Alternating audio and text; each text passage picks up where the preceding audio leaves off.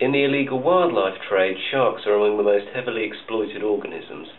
This is primarily due to their fins, which are highly valued in Asian cuisine, most notably the infamous shark fin soup.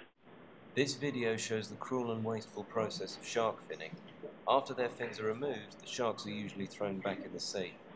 Without their fins, they are unable to swim and soon die.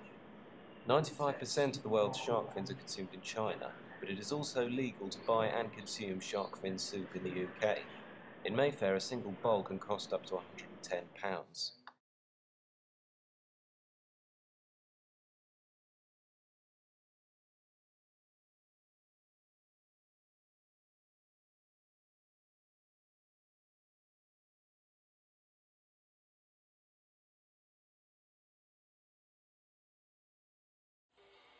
They may not look valuable, but these sacks contain the remains of one of the world's rarest animals. 14 tons of dead endangered pangolins, or scaly anteaters, have been found on the Indonesian island of Sumatra. It's the largest ever seizure of the animal, and 14 people have been arrested.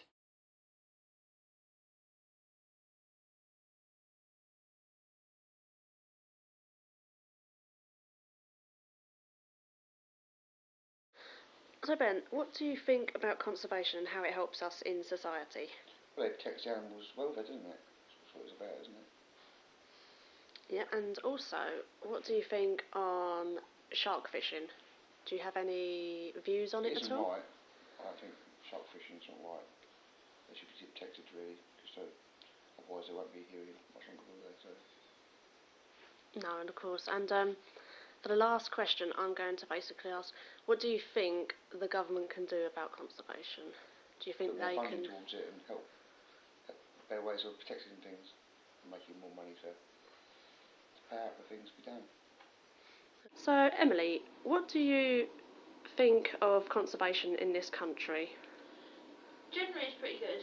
Um, I think generally what I've found is pretty good.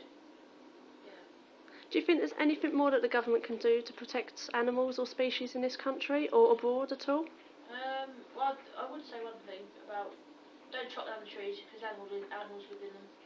Um, also, yeah, basically have more areas for animals to be free and be wild in because quite a few quite a few places we we just walk in and just upset everything.